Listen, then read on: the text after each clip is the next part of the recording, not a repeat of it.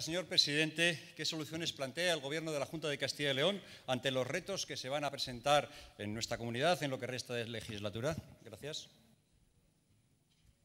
Para contestar tiene la palabra el presidente de la Junta. Muchas gracias, señora presidenta.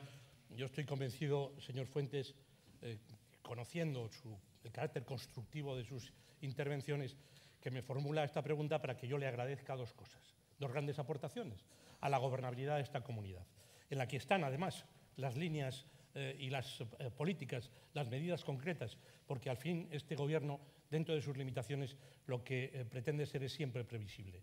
En primer lugar, un programa de Gobierno que usted conoce por el hecho sencillo y simple de que usted facilitó que con ese programa de gobierno se produjera la investidura y se vaya produciendo el conjunto de la legislatura. Ahí están los objetivos, ahí están las políticas, ahí están muchas de las piezas también en, forma de proyecto de ley que vendrán a estas Cortes. Y en segundo lugar, lo hemos hecho en el pleno inmediatamente anterior al actual, la comunidad acaba de estrenar unos presupuestos generales para el año 2018, donde están claramente marcadas esas políticas y esas líneas, que por cierto también contaron con eh, su señoría y con su grupo para facilitar que prosperaran. Muchas gracias, señoría. Para un turno de réplica, el señor Fuentes Rodríguez. Gracias, señora presidenta. Como lo decía señor presidente, queda, queda algo más de un año y la inacción de su gobierno es palmaria en muchas de las actuaciones que están intentando ustedes hacer. Es un año que para los castellanos y leoneses no debe ni puede ser un año perdido este año 2018, porque hay cientos de miles de castellanos y leoneses que están necesitando de oportunidades. Por ejemplo, los autónomos, los autónomos necesitan oportunidades, señor presidente, y las cifras esas que a usted no les gusta escuchar, pero nos vuelven a decir que en el año 2017 en esta comunidad hemos vuelto a perder más de un millar de autónomos aquí en Castilla y León y de nada sirve que ese número siga creciendo en España y aquí en Castilla y León siga disminuyendo.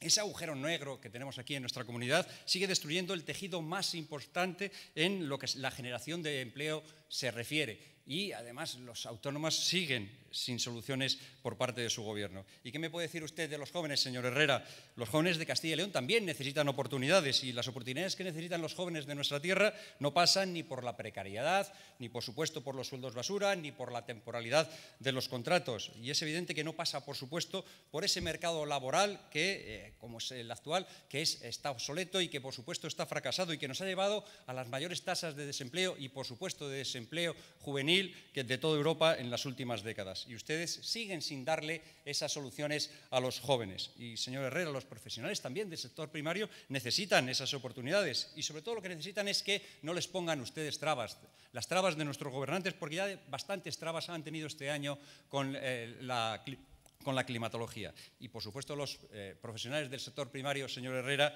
siguen sin que se les dé soluciones a sus problemas. Y nuestra industria y nuestro tejido industrial y empresarial también necesitan de oportunidades. Y en este pleno vamos a volver otra vez a debatir sobre la marcha de empresas, sobre el cierre de puertas en esas, en esas empresas, sobre empleos que se pierden, señor Herrera. Y nuestros emprendedores siguen necesitando soluciones. Y hay zonas en nuestra comunidad, señor Herrera, donde la necesidad de oportunidades roza ya el dramatismo. Hay eh, cuencas mineras que están absolutamente necesitadas de oportunidades y las necesitan quienes van a perder la posibilidad de una forma de vida que se está agotando. Oportunidades, señor Herrera, y no más demagogia, ni más promesas que no se van a cumplir. Y el entorno de Garoña también necesita oportunidades, oportunidades, señor Herrera, y no más impuestos como ustedes proponen. Y así podríamos seguir toda la tarde hablando. Y los castellanos y leoneses siguen esperando las soluciones a sus problemas que su gobierno no es capaz de suministrarles. Se insisto, señor presidente, los castellanos y leoneses no podemos dar por perdido el año 2018, no podemos consentir dar por agotada ya la legislatura. Esto, señor Herrera, no va ni de los tiempos del Partido Popular ni de sus propias crisis internas. Castilla y León no puede estar en precampaña ya porque las encuestas digan que su candidato flojea un poco. Queda un año de trabajo, por tanto, señor Herrera, ambición. Ambición y compromiso con los castellanos y leoneses y soluciones y soluciones ya.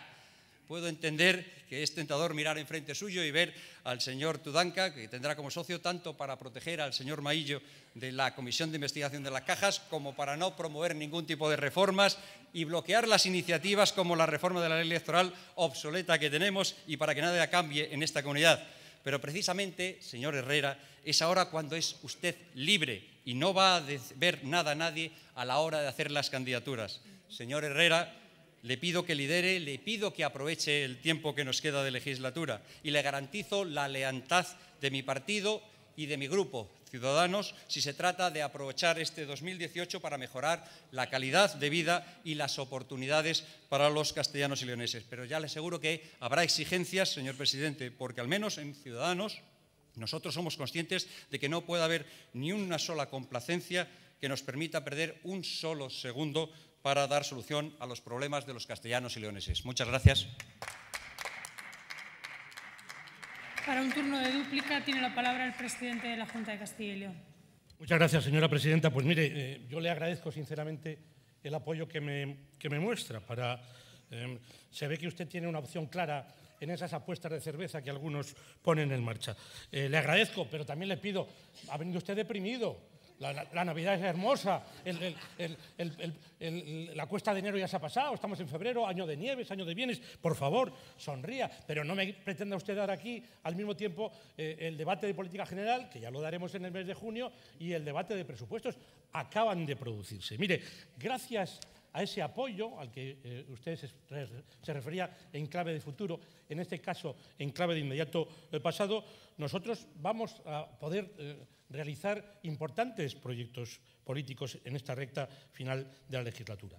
En el marco del diálogo político eh, habrá, ya hay de hecho, eh, anteproyectos de ley y proyectos de ley importantes que forman parte del programa de gobierno. Y también, yo se lo digo por primera vez aquí, al comienzo de 2018, yo quisiera que en 2019 hubiera unos presupuestos eh, generales de la comunidad aprobados. En el ámbito del diálogo social, si culminan los trabajos que se están desarrollando durante estos días, tendremos dentro de muy poco unos muy ambiciosos, ambiciosos como nunca, acuerdos del diálogo social en materias no solo laborales, sino también de avance en derechos sociales. En el ámbito del diálogo institucional, fíjese lo que hay.